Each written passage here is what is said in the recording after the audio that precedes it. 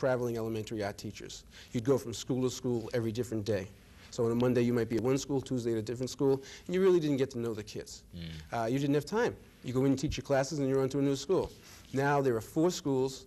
One is called the Worcester Arts Magnet uh, Elementary School, and there are four schools that have full-time art and music.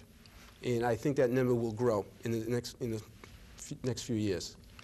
Uh, I think a lot of it's due to the, the, uh, the override of Proposition Two and a Half by the Worcester voters to, to allow the money to stay in the Worcester Public Schools. So I, I, have, a, I have hope for the future for the, for the Worcester Public Schools. Well, I think we've got to have hope for the future in every way. Uh, our education, our schools, uh, our environment.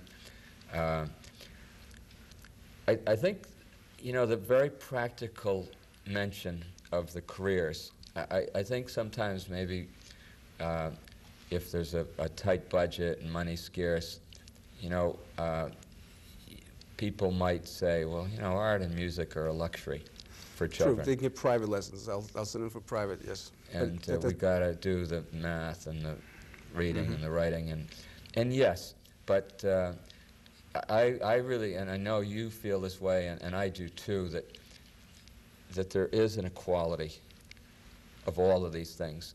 The the child who has the gift of talent in the arts and it never gets uncovered, it never gets nurtured. Um, may get the basic education, but may end up in a job the rest of their lives that they're not suited for, they're not best at, they're not happy with. And, and I think that's, that's what can happen when we don't expose children, when we don't give them a A broad wide, view. broad view, Right. and then let them kind of narrow it down as they get older. I think we've got to just uh, afford to give our children a broad view, including the arts in the beginning.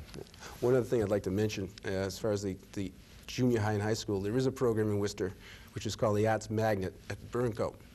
And they have theater, dance, drama, music, and visual arts.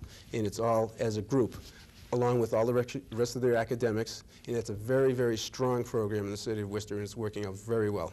And it's a seventh, eighth, ninth, right up to 12th grade program, where the students can specialize in if they want to do jazz, ballet, they can. They have dance. If they want to do theater, where they put on plays, they do. If they want to take up an instrument, they can. Or if they want to get into the visual arts, they also can.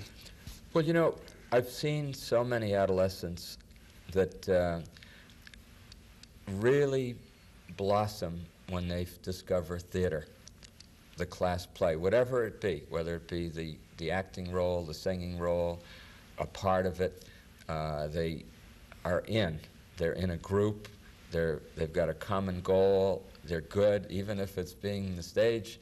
If they're good, if they're Right. strong and they're part of it, if they don't have these things, uh, particularly the adolescent, we're going to, that's going to be the last part of the series, the adolescent, but it's very hard for me, you know, I'm, we're talking about the child, but I'm always projecting ahead about the child's going to be a teen soon, and, you know, you don't have forever. You got to find their niche. You got to, so if, if this child who maybe isn't an athlete and maybe isn't an academic whiz with the usual subjects, but has the talent in the arts, whether it's art or music or theater or drama, whatever, if they discover that and they discover the joy of it and that they have talent for it and they become part of a group, so much better than to become, say, part of a group that's smoking pot every day after school.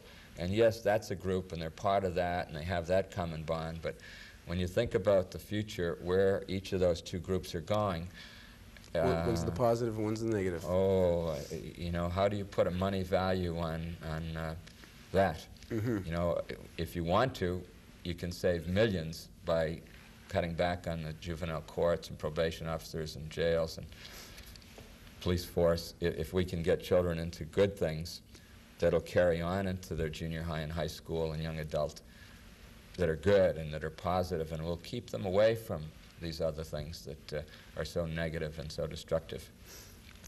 And I, we found that up at, uh, at Burncoat that the, a lot of the students who are involved in the Arts Magnet program are the higher academic level student too. And they just, they're just involved. They're involved in student council, they're involved in the newspaper, they're involved in, in other things. And it's, it's, like you said, it's a sense of belonging. They've, they've, they've found something they're good at, and, and they, they found a little niche that they're very proud of. And they develop friendships